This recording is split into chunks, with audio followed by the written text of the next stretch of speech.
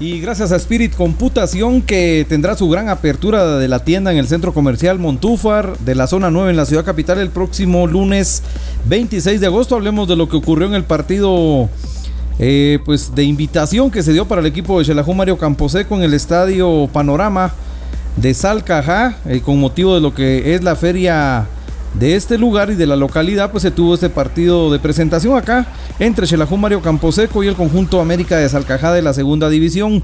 Muy temprano en el partido se abría la cuenta para el conjunto América de Salcajá, un equipo de Xela que mostró eh, pues a sus 11 jugadores titulares en 30 minutos del partido, luego se dieron variantes en el mismo, aquí se la perdía el caso de Edward Santeliz y muy bien ahí en la reacción Jorge Mario Quiñones defendiendo la portería del conjunto del América de Salcaja, pero vendría esta jugada acá, se duerme la saga, eh, la defensa y el guardameta y vendría entonces Francisco López para poner la pelota en el fondo de la portería y se daba el empate en el partido eh, pues de presentación que se dio este día jueves allá en el municipio de Salcajá y pues era así como entonces transcurría este juego de preparación y de presentación para ambos equipos, el equipo América de Salcajá que visitará el próximo domingo al conjunto de Plataneros en la actividad de la segunda división, mientras que el equipo de Chela preparando su partido para jugar el sábado a las 8 de la noche en el Mario Camposeco. Y esta jugada es lamentable porque acá se deriva la lesión del jugador Jefferson Dubón que había recién ingresado al partido, cosas y gajes del oficio en el fútbol.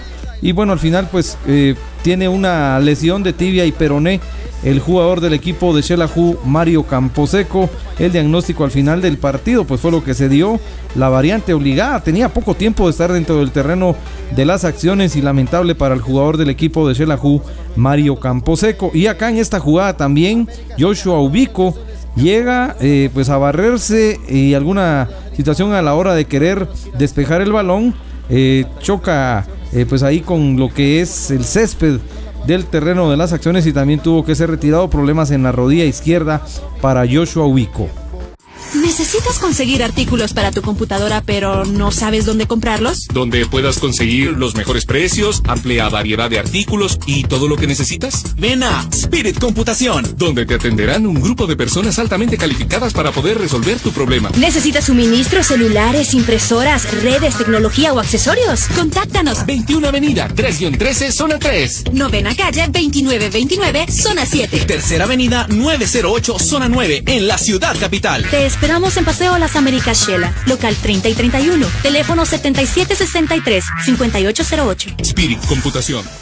Y con el 1 a 1 se fueron al descanso, pero vean esta jugada muy eh, pues interesante ahí en el tiro libre, jugada a balón parado y Ricardo García ponía esto ya 2 a 1 en favor del conjunto del América de Salcajá que terminó dando eh, pues una interesante presentación frente al equipo de Xelajú Mario Camposeco, algunas variantes también que se dieron por parte del técnico Walter Horacio González para lo que fue la segunda parte del encuentro.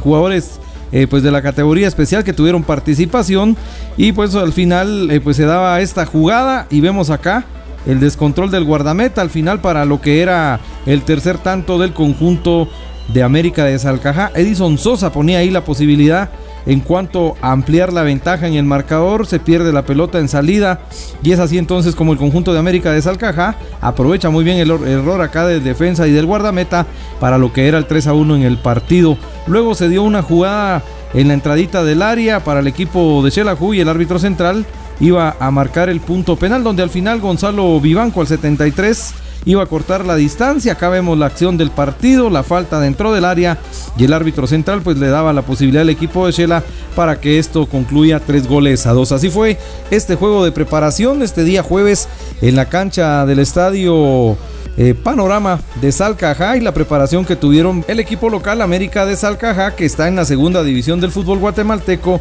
y el conjunto de Xelajú Mario Camposeco. Estas fueron algunas jugadas ya para el término del partido y recuerde que la gran apertura de la tienda Centro Comercial Montúfar en Ciudad Capital en zona 9 el próximo lunes a través de Spirit Computación que pues le ha presentado este resumen.